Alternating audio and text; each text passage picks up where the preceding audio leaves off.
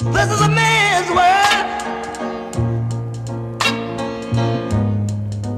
But it would be nothing, nothing without a woman or a girl.